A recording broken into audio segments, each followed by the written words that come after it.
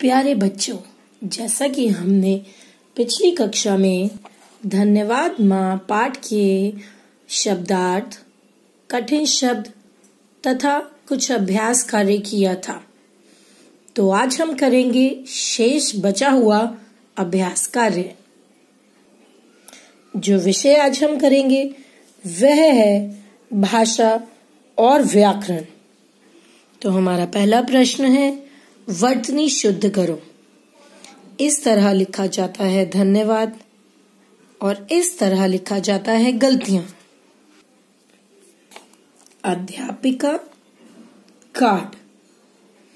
प्रश्न दो, मैं का प्रयोग हम अपने लिए करते हैं, जबकि मैं का प्रयोग किसी चीज़ के अंदर के लिए होता है।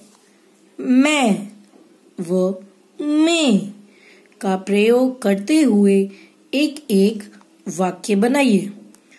पहला शब्द है मैं।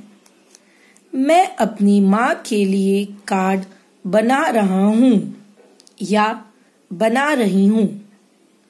दूसरा शब्द है मैं। कक्षा में चालीस बच्चे बैठे थे। अगला प्रश्न।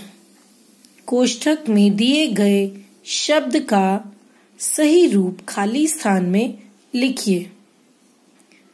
मैं तुम्हें धन्यवाद देना चाहती हूँ। यह तो मेरा काम है। सलिल ने अपना सपना उन्हें सुना दिया।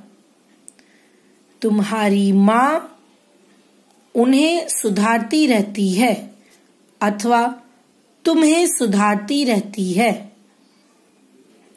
प्रश्न चार। नीचे दिए गए वाक्यों के खाली स्थानों में क्रिया शब्द लिखकर पूरा कीजिए। वह डेस्क पर सिर रखकर आराम कर रहा था। तुम छोटे से छोटे होते जा रहे हो शोर से सलिल एकदम चौंका। अरे, क्या मैं सो गया था? सारे बच्चे कार्ड बनाने में जुट गए।